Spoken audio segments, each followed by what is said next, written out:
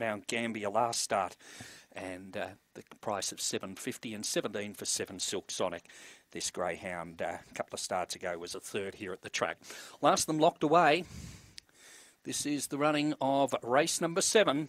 Set for a start, ready, and away in racing, Bungaloo Rachel and also Blue Sky Boy, the early leaders. Around the outside, Boo Boo's better. Then further back in the field, Bulsara. Getting through along the inside there was Silk Sonic. Next pair back are Circus uh, Craze along with uh, Bulsara dropping back. Coal Island and last of all, Electric Guru into the straight though. Favourite well clear Blue Sky Boy and Blue Sky Boy will score by eight.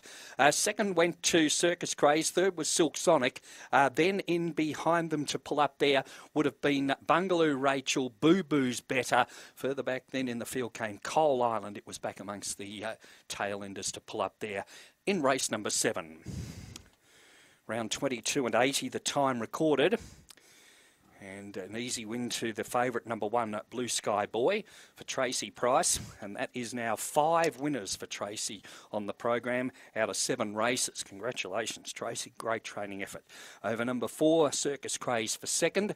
And third in about to be posted on race number seven. It's number seven, Silk Sonic. And uh, fourth in will be posted in a moment. 147. gets fourth Bungaloo, Rachel. 22.82 was the race time recorded. Run home time of 12.11. And an easy win to number one, Blue Sky Boy. The margin will be interesting. That makes it uh, three career wins out of four starts for Blue